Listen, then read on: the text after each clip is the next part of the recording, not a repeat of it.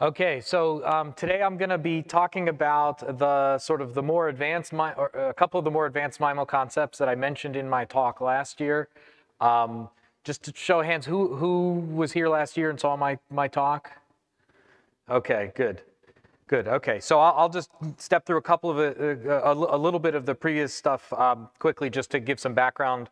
Um, uh, basically, I talked about MIMO and, and uh, how multipath uh, causes um, uh, issues that, that, that MIMO can help solve, and, um, and uh, how, we, how we can look at that, how we can model it, how we can model it in GNU Radio, and that sort of thing. So we talked about multipath and constant versus time varying, and um, uh, Doppler and all that sort of stuff. And uh, if you're if you're find yourself bored on, uh, on a Saturday night, uh, you can always go back and, and watch the video, which I think has been put back up after our takedown notice, um, which I was I was I was very proud of that last year. Um, but in any case, um, uh, the the the basic this is the basic model of a communication system, um, and uh, can everybody see my pointer? Yeah. Okay. So there's all all these things in a normal uh, modern communication system, but um, most of this is going to be uh, left out of, of what I'm talking about today, and I'm just talking about really the the MIMO sections of it, and the and the rest of it is um, is uh, you know assumed everything is synchronized and assumed uh, that the channelization happens, and um, all of the all of the fading that I talk about today is going to be flat fading.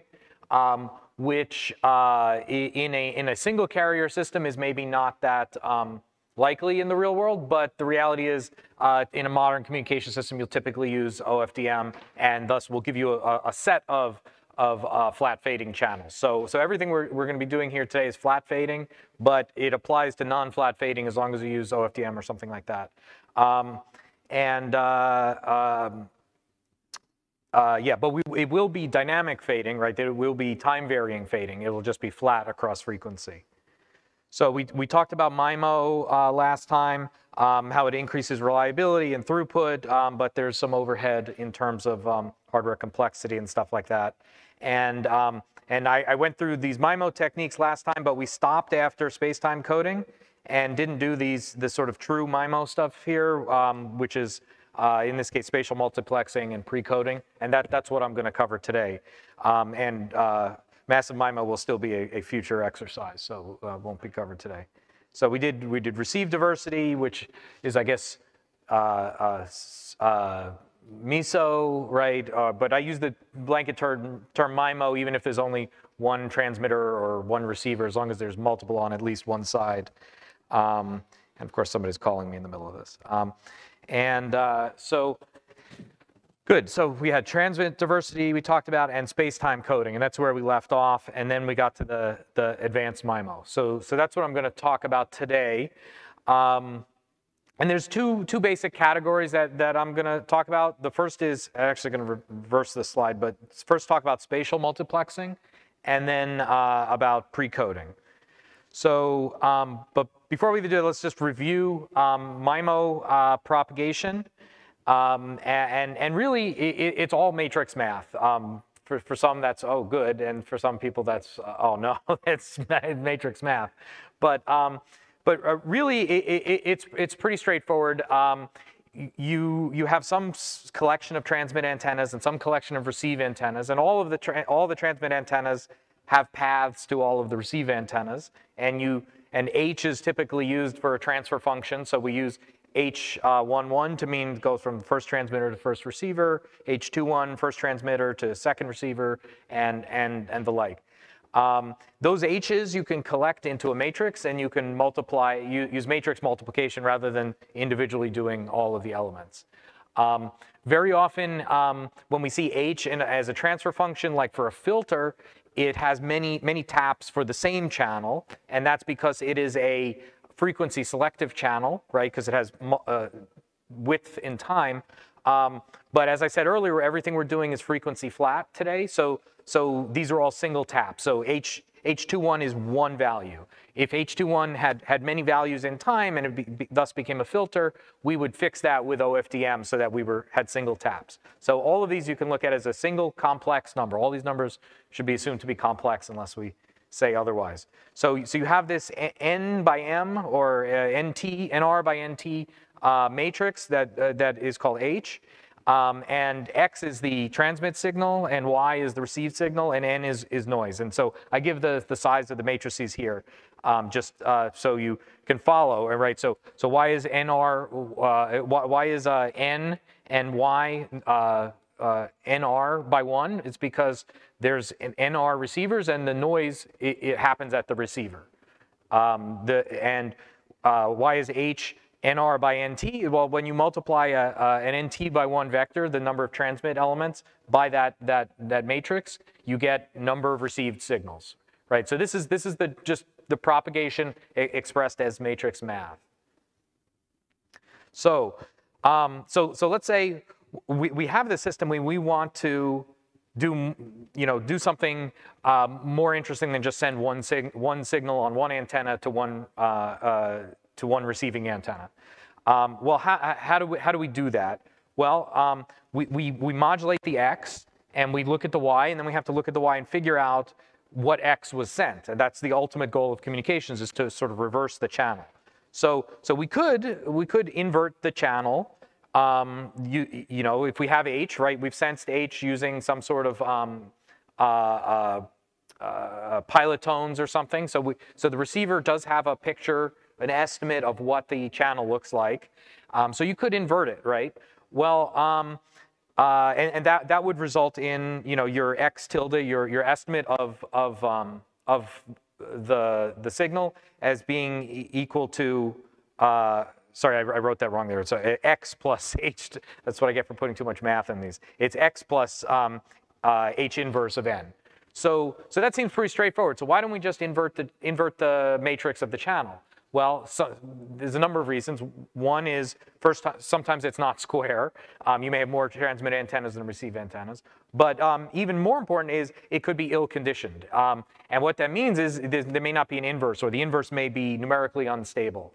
And, and so what you would see here from this uh, minor uh, last equation with a small error in it, you would get the received value plus inverse of the noise. But if, if, the, uh, if the channel was very weak and you invert it, you, your noise explodes. And so, um, and we see that in normal frequency domain equalizers or, or in, in, normal equalizers of um, frequency selective channels, you get noise amplification where the channel was weak. Well, this is the same thing just applied to multiple antennas instead of multiple time samples.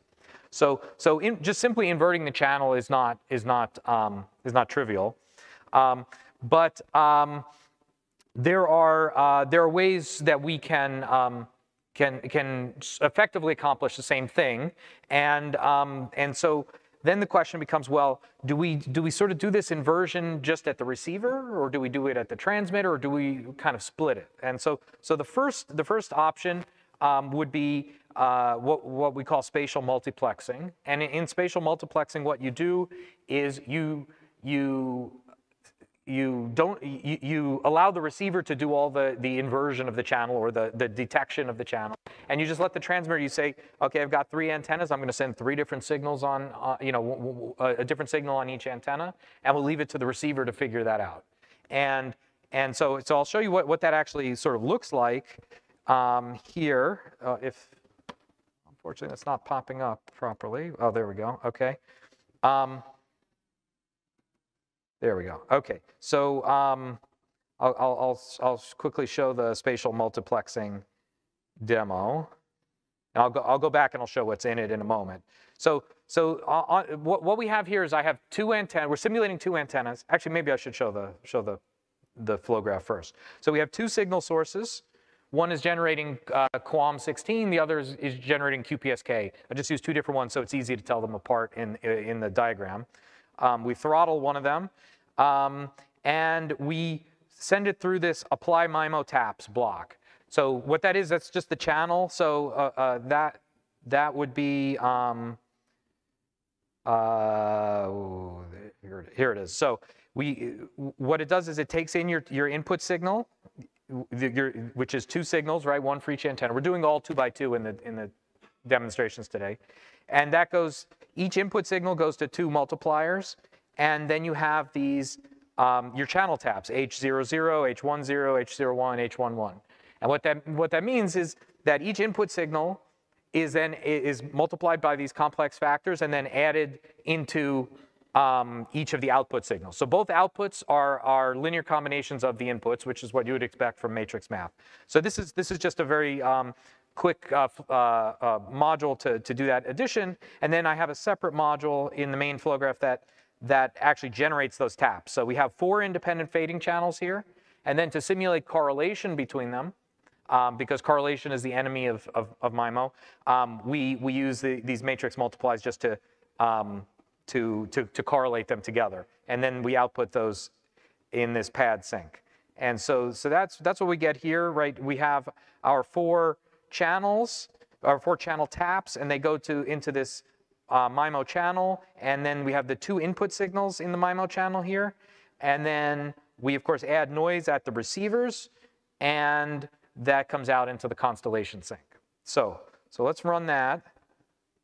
And so here I have manual control of the taps. This is not automatic. So on the left we have the two constellations. One is the QAM 16 in blue. One is the um, is the the PSK in red. And all the channel taps are set to zero, so you see just random noise on both receivers. Well, the first receiver is blue and the second receiver is red. So if we if we start playing with the channel taps, right? So we this says H00 says the first the the first um, first transmitter is connected to the first receiver by this gain. So I, I made it non-zero, and you can see it comes through. And then if we set H11, you could see that the second transmitter goes into the second receiver. Now this would be like fiber optics, right? They're not they're not crossing each other at all here. So in practice, you would also have this cross um, this cross uh, signals, right? The H10, the H01, and that, that makes some cool pictures in the in the in the display. But that's actually pretty hard for the receiver to uh, to um, decode. But but what you're seeing is so if you look at the blue on the right, for example, you've got the dominant signal is the QAM 16 is coming in and causing 16 different constellation points. But added on top of it, you have the other signal, the cross signal, coming in, and it's adding the circle on top of it. Now, if I just did QAM 16 for both of these, it would just look like you know a grid. So, um, and and you're unlikely to see this this sort of pretty a picture in a real receiver, but this is this is what's happening, right? And you know I've got noise, but if, we if we take the noise down, you can see what it, what it looks like, right? Now I, I just have real channel taps here because I can. Um, so I can use sliders, and actually, uh, if, if Hakan is here, my, my request is a is the equivalent of a of a QT slider GUI, but two dimensions, so you can do complex numbers with it. That's that's my that's my feature request of the of the of the year. Um, but in any case, so so this is what happens. Now, how does the receiver decode this? Well, the receiver can could multiply this by the inverse of the channel, um, but that that could be um, uh, that, that's messy. So there's o- there's other algorithms, but here I'm gonna now I'm gonna show um, that that was sort of manually setting all of the taps. I'm gonna now put the the um, this is this is the automatic uh, setting of the tap. So we'll turn on some Doppler so the channel is varying, and this is no correlation, right? Um, actually, here let's slow down the Doppler. So so this this is a this is a hypothetical channel um, with no correlation, but as it correlates, you can see that the two constellations that are received approach each other. And when you have perfect correlation, now you no longer have two independent estimates of what's going on. And, and so this, in this situation, the second receiver is useless, and, and you would only have the information from, from one receiver to, to do this decoding. Right, so, so again, that's why correlation is the enemy of, of MIMO. And, and so, uh, and that's why you sort of have to space your antennas apart sufficiently in order to get independent multipath. But now, let's say you have this system and you are attempting to, uh, to decode that. Well, how, does, how would you do that? Well, um, the, the, the most common uh, methods for doing this are, are the, what, what's called the maximum likelihood method, where you you're, you're effectively trying all the possible combinations of points and seeing which is the most likely based on, on your estimates of the channel and, and the actual received symbols. Um, maximum likelihood grows, you know, exponentially in complexity, and so um, there are other methods that have been developed to, um, to do that more efficiently. Um, the, the most commonly used is sphere decoding, um, which is also very, it's very complex computationally, but not nearly as much as maximum likelihood when you have a lot of antennas. Um, but it's also, uh, it, it's quite complex conceptually, but this is sort of a, this is the best picture I was able to find of it, where you, you sort of, the, you have a received signal here, and you say, okay, the, the, the, the truth is somewhere in, in, within this sphere, and what is the most likely element within this sphere? It's, it's, um, it's a relatively complex um, algorithm, but it's, it's used in things like uh, Wi-Fi. So Wi-Fi uses multiple layer um, uh, spatial multiplexing uh, in, in the more modern versions. Um, and one of the advantages of, of, of, spatial multiplexing is if, if you have decently, uh, decently uncorrelated multipath, your channels will separate and you, you can significantly increase your data rate because you have these parallel channels. And, um, uh, and, and it works with broadcast because you're not, you know, you know, in a broadcast channel, you have different paths to each receiver and you can't, you know, pre-compensate for each of them separately. You, you, so you, you sort of leave it to the receivers. So, so, um, so the advantage of spatial multiplexing is you, there's no need to, um, there's no need to send channel information back to the transmitter. Um, so that reduces overhead, uh, and it can be used in a broadcast system. Um, the downside is because you're not doing anything transmit signal, each antenna is radiating omnidirectionally in, in this case, and so you're not getting any antenna gain right? The, the, the signals are spread and, and you're sending energy everywhere and not necessarily optimizing that transmission. So, so, so that's spatial multiplexing. Um, next we have pre-coding. And, and you, you can imagine two, two varieties of, uh, of pre well, the, the, the most obvious pre-coding was we have, right, if we go back to spatial multiplexing, we have uh, inverting this, this H, you have, you're inverting it at the receiver. Pre-coding would be inverting it at the transmitter, right? And so what does that mean? That means the transmitter needs to know the channel state information. And of course, this again means it's only, uh, you know, only to one user at a time. Um, but um, it, it, it also means that you are sending the energy into the in the direction of the dominant channel modes. So so you actually get antenna gain when you do pre-coding because you have now have a correlated signal between your multiple antennas and, and, they, and they are constructively interfering at the receiver. And so you, you actually get antenna gain from pre-coding. Um, the one issue, and, and, so the other is, the other issue is we saw here, you get this noise enhancement, right? Because you have h, h to the minus one of n. This is because the receiver has to do this, this multiply by the inverse after reception, so it's already gotten noise. If you do it at the transmitter, the transmitter doesn't have that noise, so it can do that inversion there. And so there's no noise enhancement. Um, but you could have an ill-conditioned uh, channel, which would still result in, in instead of noise enhancement, it results in very sort of very strong signals. Um, you know, it sort of amplifies what you need to send, and you end up with disparate uh, amplitude between the different channels.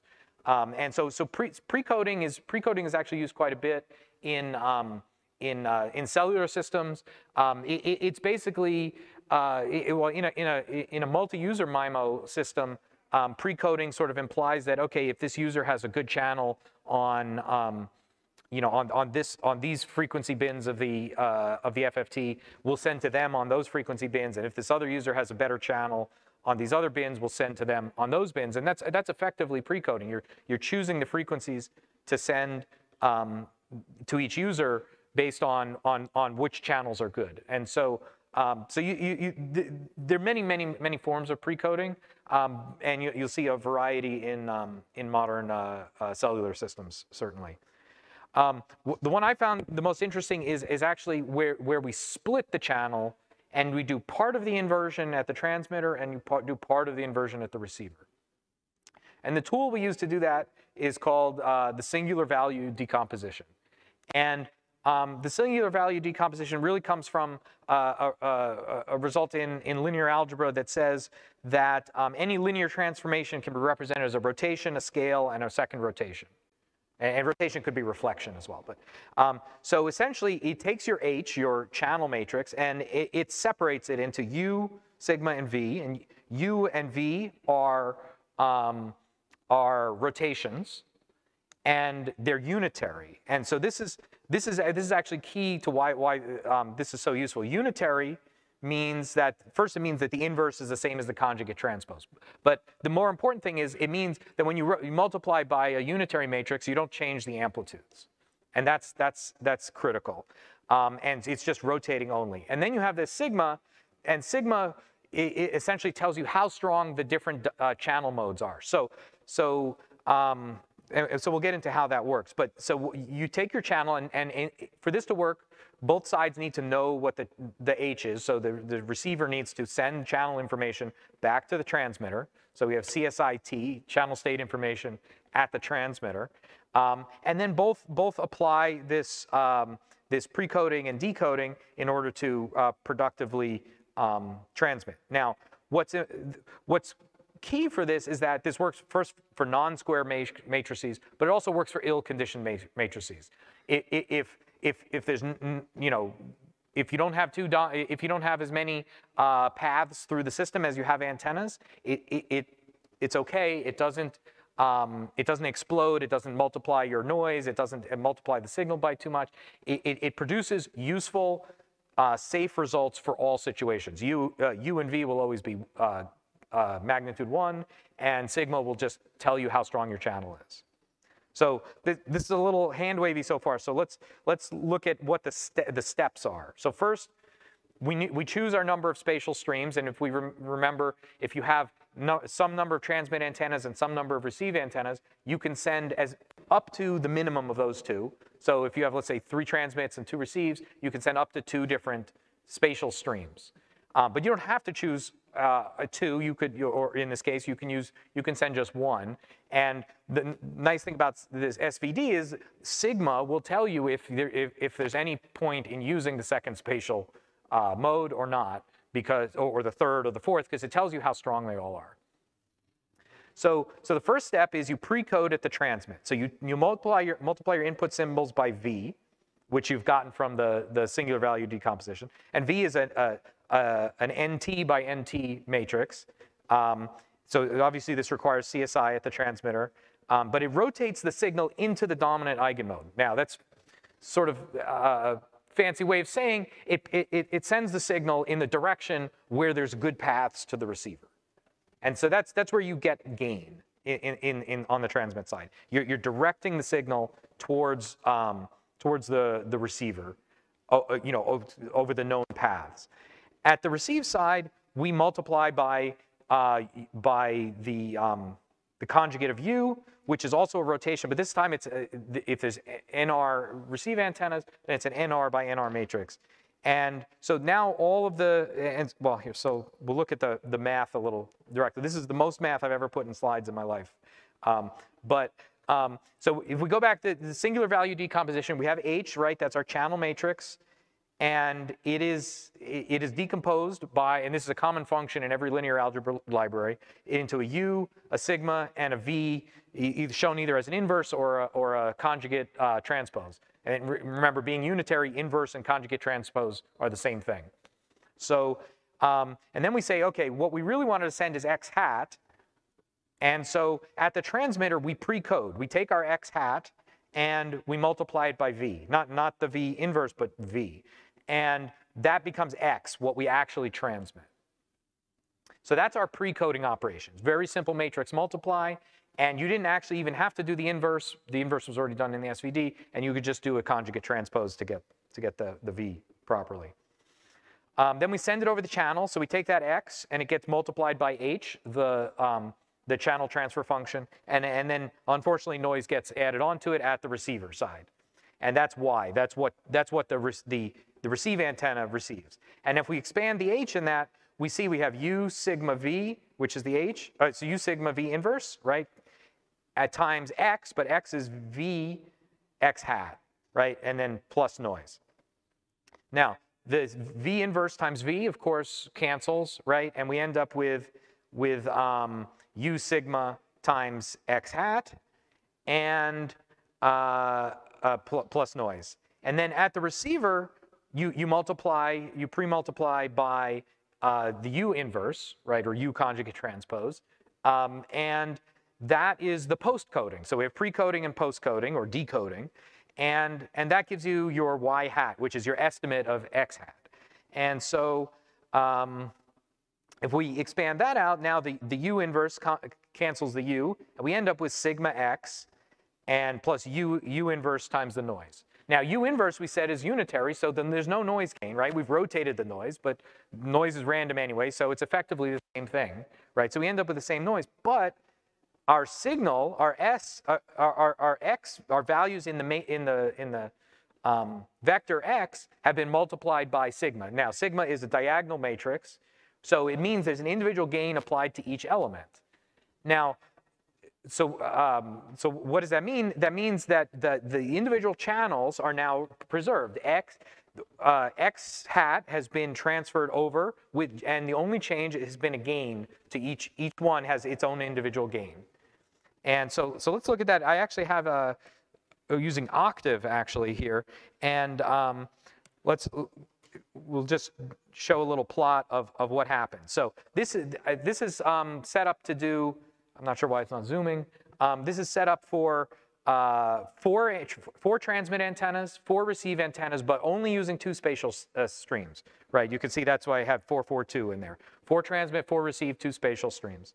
And you can see the, the in the dominant eigenmode, the, the, the, the first, the first um, spatial stream, uh, it's all, it's red, and you can see it's a big, um, QAM 16. In the second one, it's weaker, right? It's the SVD implementations all sort these so that you get the first, the strongest one first, the next one, right? And then and then we put nothing into the next two uh, uh, modes, and so those just you know the the blue and the and the pink show up as uh, single points because we put no energy into those. But we put energy into the red and into the green, and the green came through not as strong because it was it was the weaker mode.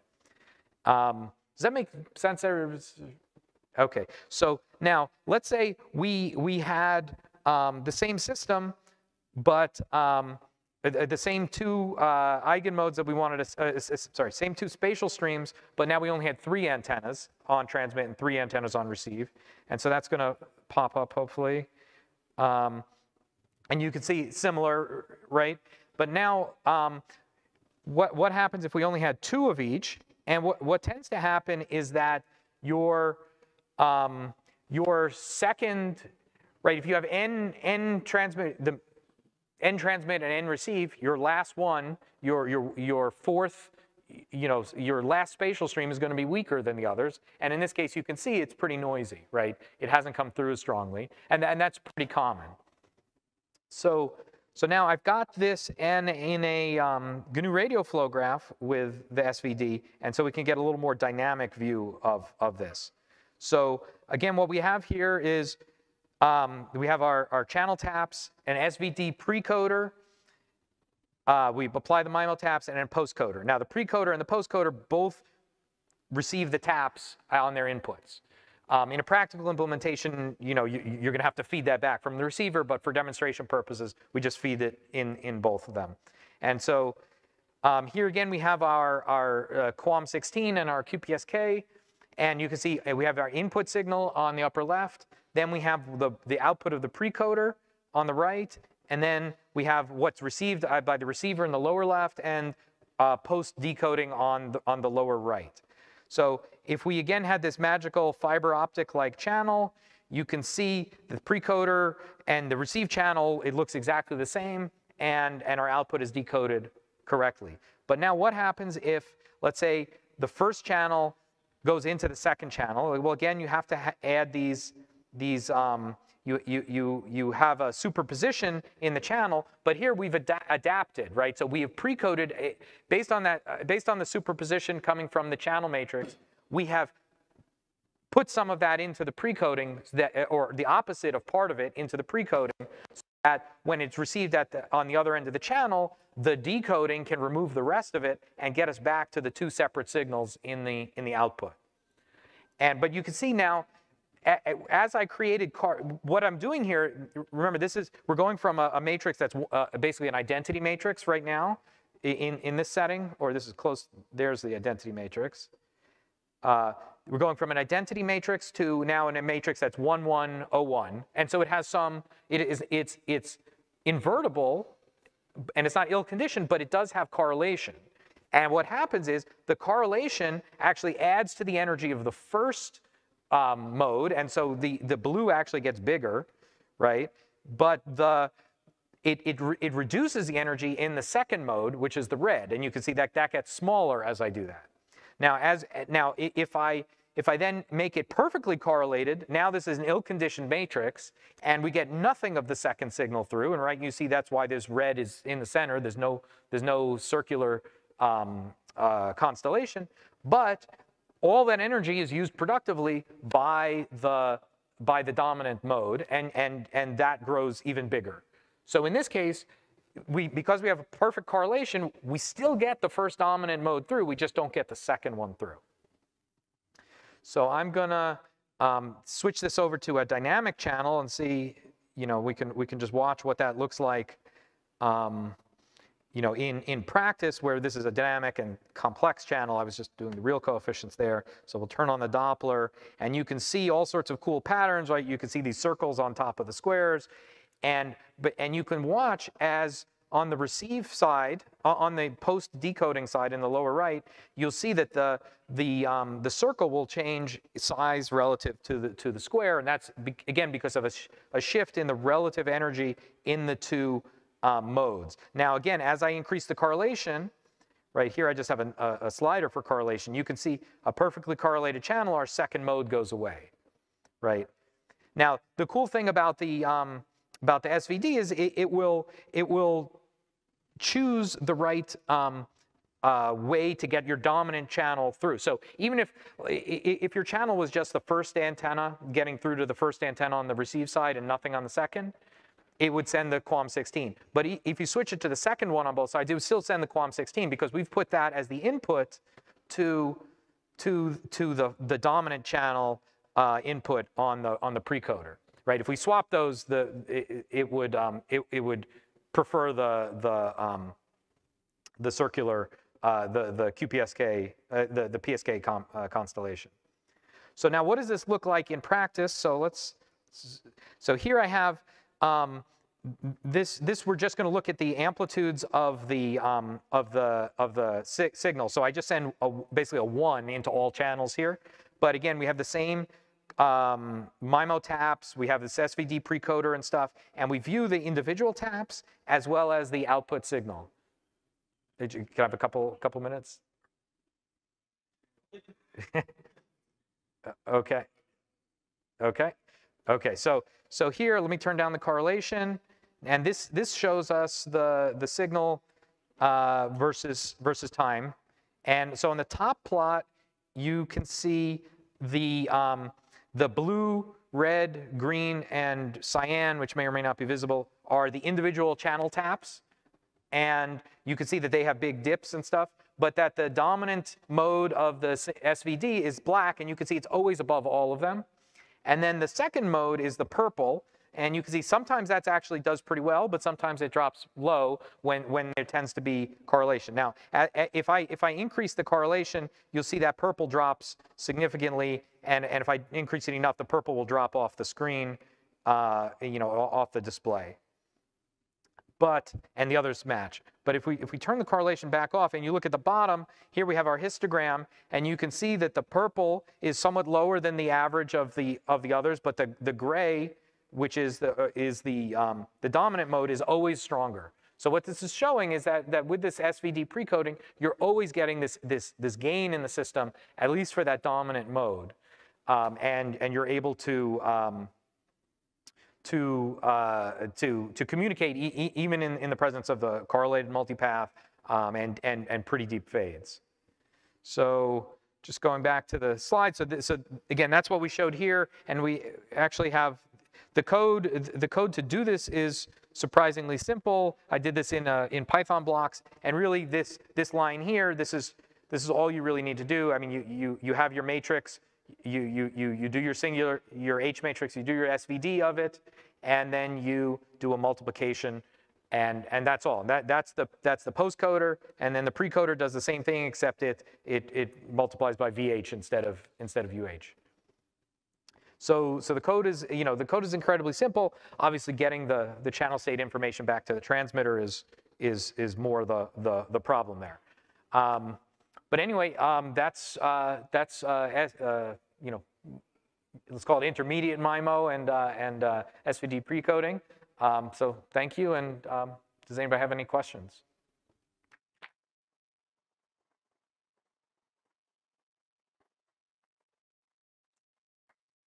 Thanks, Matt. Oh, and while while I do that, I I have um, I am uh, uh, uh, I can. This is how you can contact me if you have any questions, and I am like apparently everyone else here for every year forever. I am recruiting. Um, I work at Apple, and I can finally say this as of a few weeks ago. I am, I am part of the satellite connectivity group. So if you are interested in working on that sort of thing uh, at Apple, uh, let me know. We, um, our group actually uses GNU Radio and, and, and does a lot of uh, cool communication stuff. So uh, let me know if you uh, are looking for, uh, for a job. thanks, Matt. Um, that's a that's really interesting. I'm, I'm, I'm I come from a radio astronomy background, but I love seeing the the sort of the interchange of um, linear algebra and communication that, that really fascinates me. Um, again, coming from a radio astronomy background, we, um, we do have the interstellar medium uh, being a, a, a, sort of a, a um, medium that, that applies a transfer function on, on whatever signals comes, comes through. The problem is we cannot always estimate um, the transfer function. In your precoder, how, um, I'm interested to know how do you actually um, know the uh, you know know know that transfer function to apply it on your transmitters and um, does that only affect receivers in one particular direction and um, can you do it for multiple receivers i guess yeah so good, good question so um, how you actually get that channel state information back to the to the transmitter, or it, it was two aspects: is getting it back to the transmitter, but also how does the receiver figure it out? So, so this is a, this is a more complex flow graph that I didn't didn't show. But what we do here is we have the precoder, SVD precoder, but also we add in some known symbols, and th this is this is essentially what all um, com systems will do these days: is they add in pilot symbols um, and sometimes those pilot symbols are modulated or whatever, but they're known at, to the to both the transmitter and the receiver. So in, in, this, in this particular flow graph, what we have is for every eight symbols of, um, uh, eight, eight, eight uh, symbols of, of, of, useful data, we also send two um, pilots. And one pilot is, in this case, the way I did it, it was one transmitter sends a pilot while the other sends nothing, and then we switch and then the other transmitter sends nothing, and the, and the second one sends the pilot. And that way, in two time periods, you, the, both receive antennas can compute what their transmit, what their transfer function was to the first transmitter, and then what their transfer function was to the second transmitter. Um, and so it, that's very similar to what's done in like LTE and 5G. They have these these these tones and and, and Wi-Fi where you you you have these known symbols. Um, Usually it's not that simple and they'll put like an array of them all, all through the OFDM matrix or something, but essentially it always comes back to, I sent a one and I got a 0.707 plus 0.707i, that means there was a 45 degree rotation. And, and that, that's essentially what it is. So, so now that, that's not a perfect measure, right? It'll, it'll have its own noise. And so that's typically, um, you either want to add more energy to it or you want to um, uh, send it a couple times or average over several of them so that you can um, get a, a, good estimate because it, none, none of this, you know, if the estimate's noisy, it's going to that noise is going to add into your system. So so usually it's the pilot tone. Sometimes um, it, you you may you may just use decision directed equalizing and and sort of you guess at what a signal was and and um, and sort of co compensate. But but in in more in most MIMO systems, you just send independent um, uh, uh, pilots. Anybody else? All right, so let's close that. Or, or do you have a? Okay, one more question. Foreseeable. Um, can you put these online, the flow graphs? yeah, yeah, yeah. I'll, I'll get the, the flow graphs. Um, I have the, the, the blocks are all on, on GitHub, but I need to get the flow graphs up as well.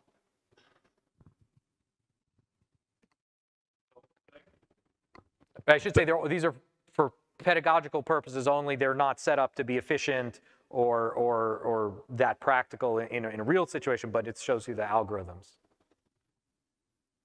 All right. Thank you, Matt. Th so. Thank you.